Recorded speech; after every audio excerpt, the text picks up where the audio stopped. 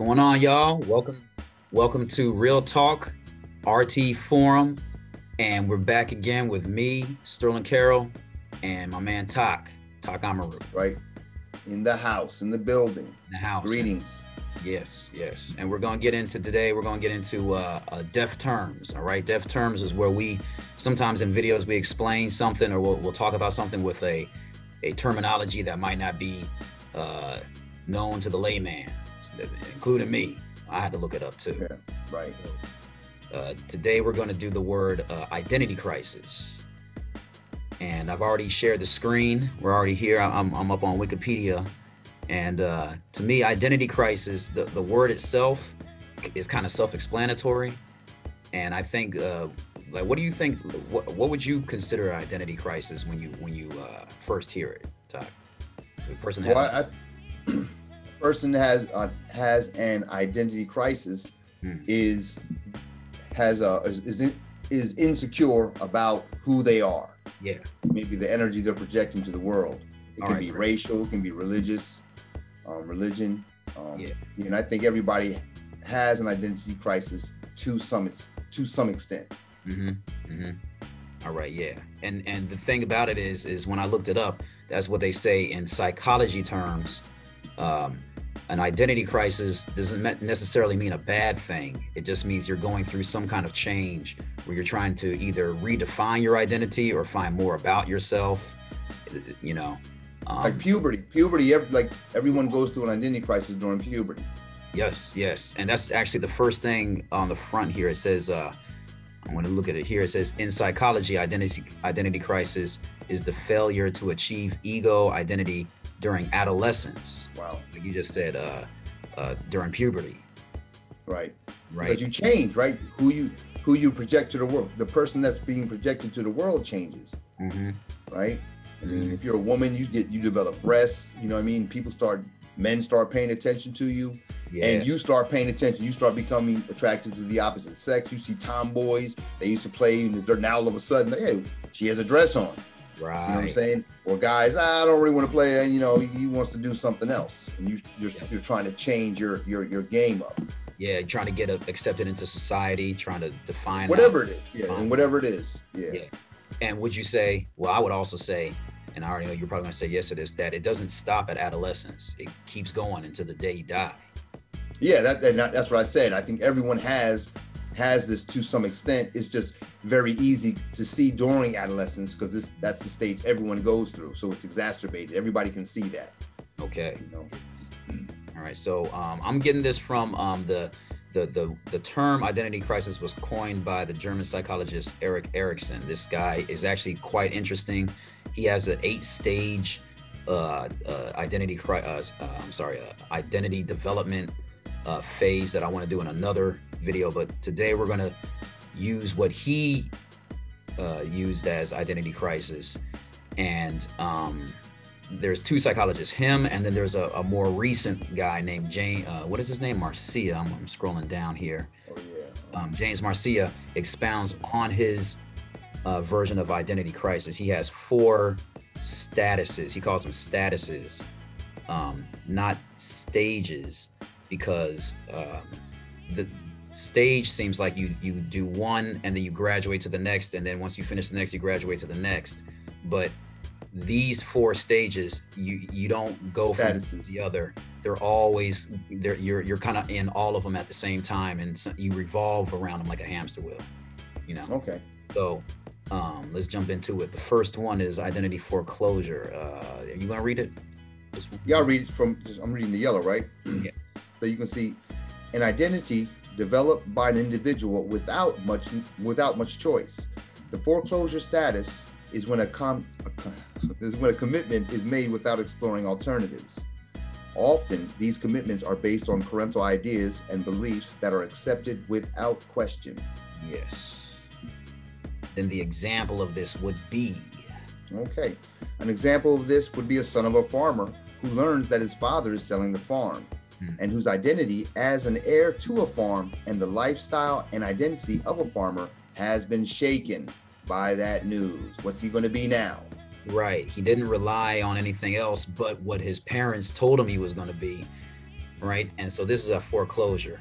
And I'm going to jump to this um, chart that this uh, this uh, I, I think she's a psychologist as well. She's a teacher in some college, and this is one of her college courses. She drew this chart here, and the the bottom left is foreclosure.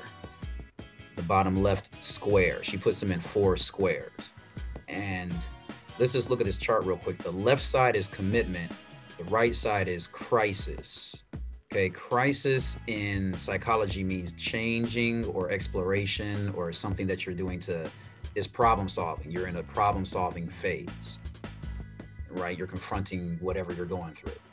And so she puts them in a high low division. So if you're looking on the left, the bottom left box, it says that the commitment is high and your expiration or your crisis is low.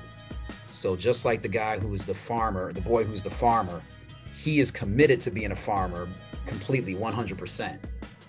But his exploration into any other field, maybe I want to be a doctor, maybe I want to be a singer, maybe I want to be something else. He's never even explored anything. He has low crisis, low exploration. So it's very safe because it's already been picked, but if something happens like like when his father decides to sell the farm, now you have nothing else to fall back on. So it's quite yeah. a dangerous and precarious position to be into. So she puts a little frowny face in there because mainly you don't want to be in that position. It's dangerous. It's risky. Would you say that a, a, another example of this would be like in like religion? If you if you were, you know, if you were involved in a religion and you found out that your pastor was sleeping with women or was doing something that was unholy, right? And right. all of a sudden you're like people in religion, yeah. Right. Okay. Yep. Right. Right into it. Great. Then the next one we're going into is, um, pretty sure it's going to be diffusion. Let me just see here. The next one is uh, identity diffusion. Scrolling up here. Okay. So just the word that, spread out thin is diffused. Diffuse. Mm-hmm. Yeah, but the diffuser, some of you have that with, with your uh, your essential oils, right? Aromatherapy. Oh yeah, yeah, yeah a diffuser. Yeah, an aroma. Yeah, diffuser. Yeah. So go ahead and read that one there. Okay, looking at the yellow, uh, the apathetic state that represents the relative lack of both exploration and commitment. What is what does apathetic mean? Like not feeling anything, not feeling good, not feeling bad, just kind of dead in the water, stale, stale, something like that. Okay, like apathy, like oh blah, blah. Yeah, which is very common in adolescence, you know, especially they don't know what they want to do, where they are, and they, they just give up on everything. They don't know where what they and they don't feel like doing anything about it either. Sit around playing video games all day or something. The, the novelty of everyday life has worn off by the time you're 13. Right, right, right. Stuff that was cool back in the day, turning the ooh the light switch. Now, now, now you know you're you're, you're uh, I'm a veteran now. Yeah, yeah. Let's get okay.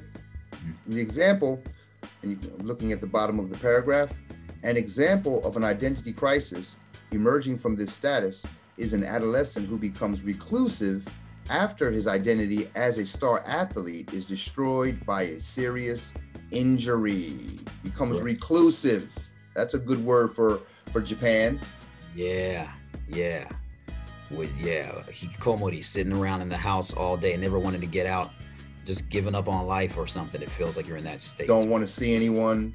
Just a, a, a state of depression, you know, isolation and depression. Right, right. Yeah. We go back to the chart. Um, that's the top left side of the, the picture of the box, diffusion. And that is where commitment is low. You're not committed to anything really.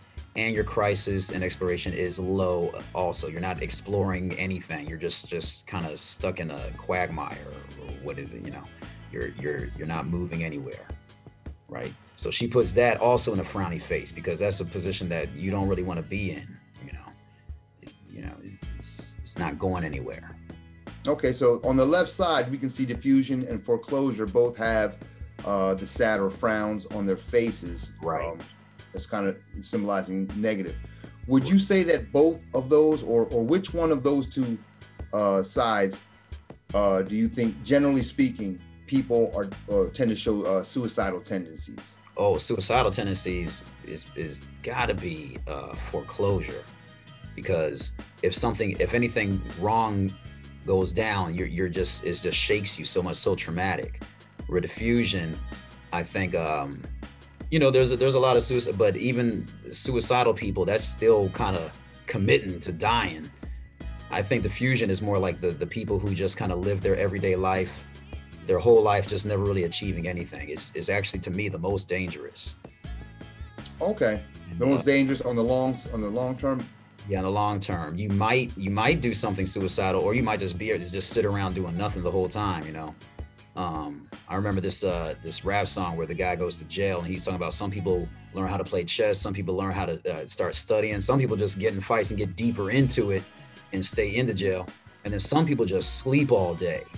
And he's like, and that is unacceptable. And I was like, so even getting in fights and, and burying yourself deeper is better than sleeping all day and not doing shit, you know? Wow.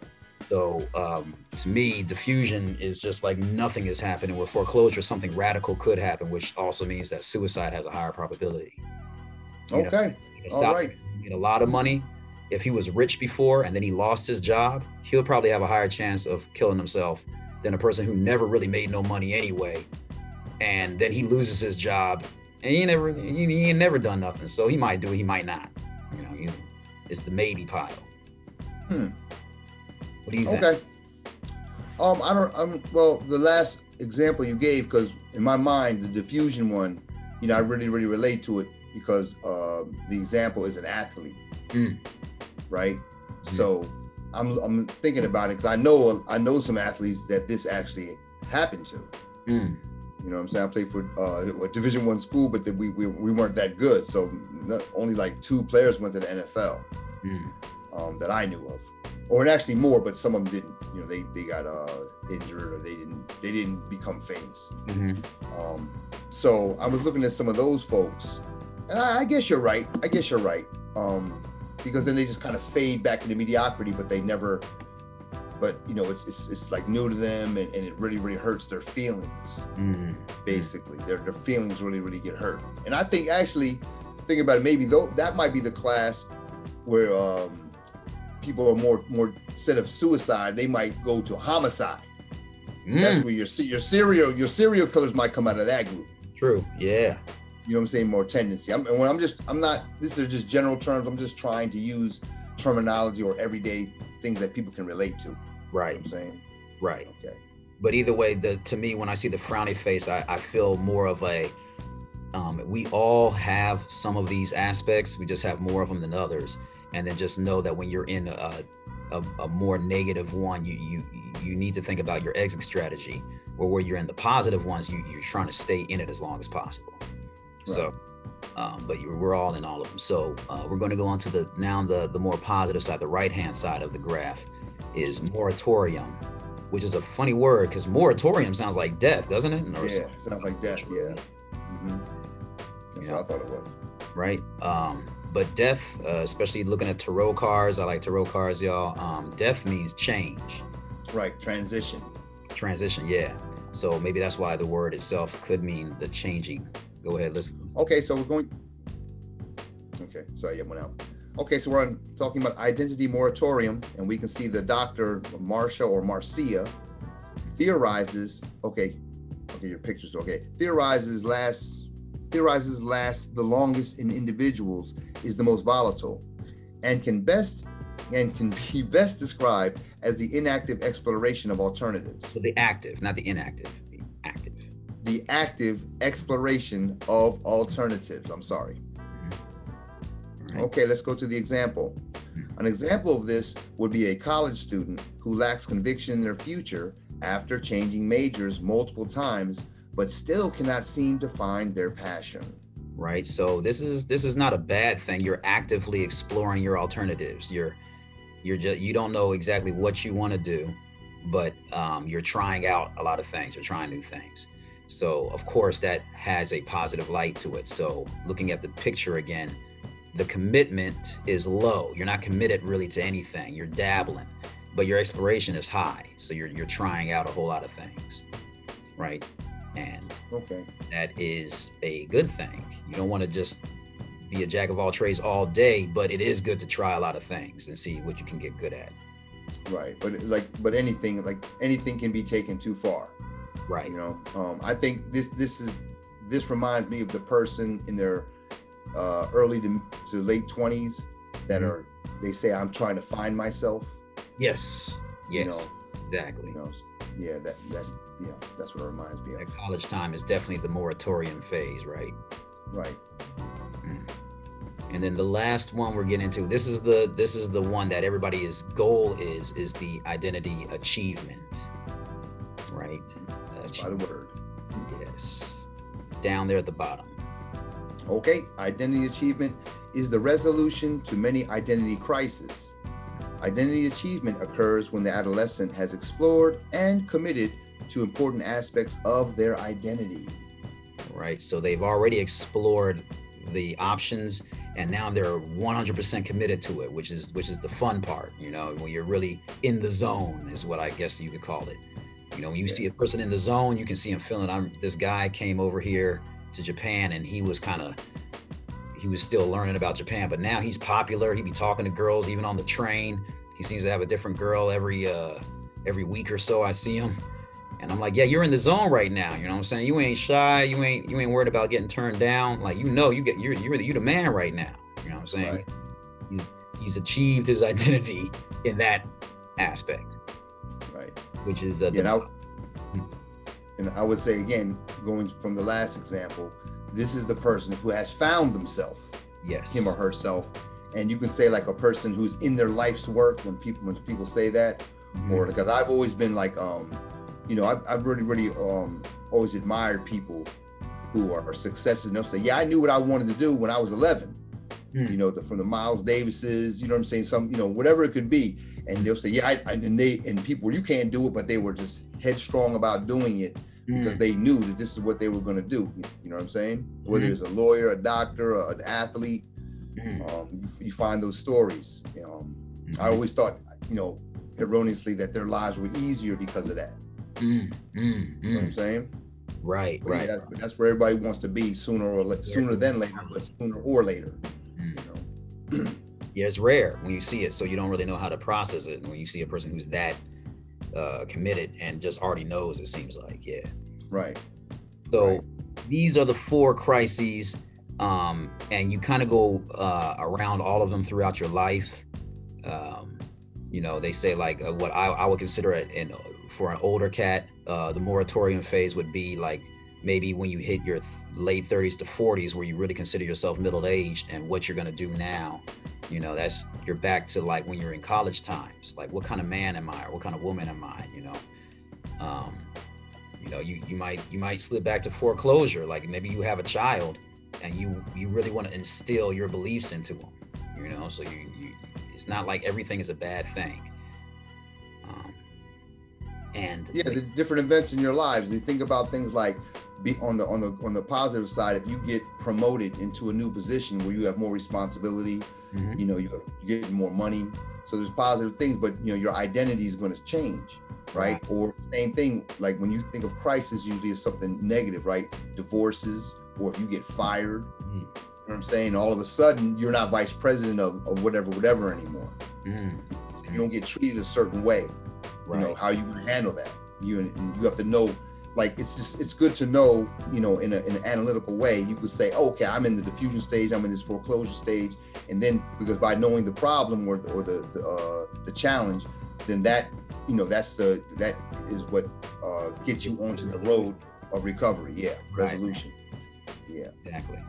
Um the last thing i wanted to point out was um that uh, the, the lady well not just this lady and somewhere in the wikipedia it wasn't on the page i just saw but the the goal is to be in uh, what they call mama m-a-m-a which is moratorium then achievement and then once you achieved it back to moratorium and then try to once again achieve again and staying in that state is the healthy choice whenever you fall into foreclosure or diffusion your goal is to try to get back into M-A, M-A, M-A, mama. okay all right mama easy to remember Yes, yes. That's about it. So hopefully this helps y'all, you know, uh, understand what identity crisis is when a person says you you have an identity crisis or, you know. Um, a lot of people use psychological terms and I don't think they know what it means. So Yeah. All right, most Def Terms. Yep. Yeah, real talk. All right. We out. Right, y'all. Check you on the next one. Peace.